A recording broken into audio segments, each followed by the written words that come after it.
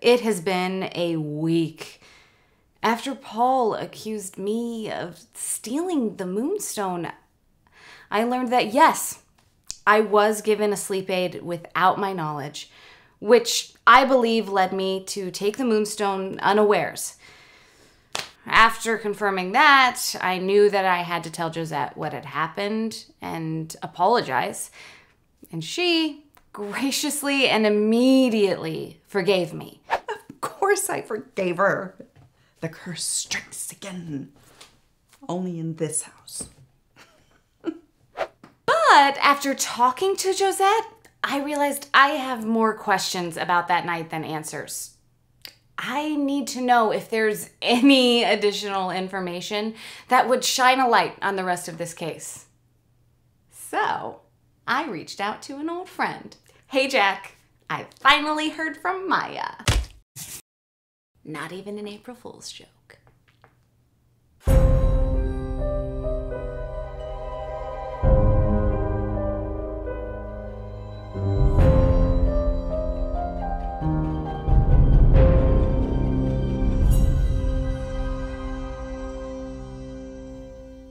I didn't know if Maya would want to talk or if she'd even respond. But late last night, I received this. Yo, Johnny, got your message. Yeah, the puzzle was me. When Cuff brought my name back into the mix, I got spooked. I didn't want to be the last one mentioned if this case was going to die. But then I saw your video with Josette, and I believe you. That you didn't know you took the moonstone. I mean, why else would you go back? Which is why I gave an assist. But the rest of the video is basically useless. Sorry. I don't know what happened with the moonstone after that. But I'm around if you want to talk. So, not many specifics from Maya, but at least now we know where the riddle came from.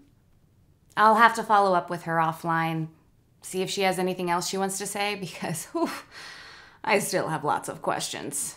From a historical perspective, I've had another chance to do some more deep dive research on the moonstone's origin, so get your nerd hats on. Remember how I said the moonstone was stolen from a ship? well, that ship had a name, and it was called the Mirthwaite. Now, the Mirthwaite belonged to the British East India Trading Company, which was Britain's economic presence in the East that also included kind of a private army. Colonization. Am I right? The ship's manifest listed a healthy amount of opium, so it's a safe bet she was on her way to the British Isles from India. But where things get really wacky are these raiders. So back up. At the time, the American Revolutionary War had just ended with the signing of the Treaty of Paris in 1783, marking a time of peace between Britain and the brand new United States of America. But in 1799, a group of American traders got into a disagreement with some British officers in Cape Town, which was a main port of call for ships passing to and from India and Britain. The Americans decided to loot the British ship and included in the haul the Moonstone. Now, I don't want to blame the curse, but once it was stolen, the diamond caused infighting amongst the American traders. And for generations, this group of merchants murdered one another and stole the stone back and forth until it wound up in the hands of Herman Marshall, star of that weird film reel that we watched back in December. You. Candi. Sorry to interrupt you. Oh, no, it's fine. What's up? I just wanted to say something, Okay. like to them.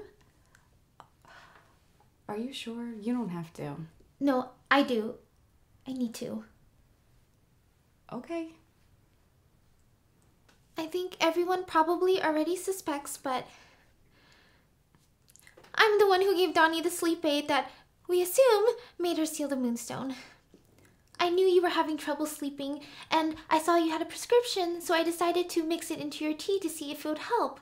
it never even occurred to me that that could be the reason why the moonstone disappeared until Donni talked to me a few days ago. It makes perfect sense now. And I know we already talked about it, mm-hmm. but at the very least, you deserve a public apology. I didn't mean for anything bad to happen, but I understand now that that's drug assault.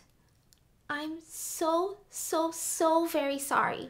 And I forgive you, okay? I know that you were just trying to help. I need to say this. It's never okay to take away someone's choice about what goes into their body.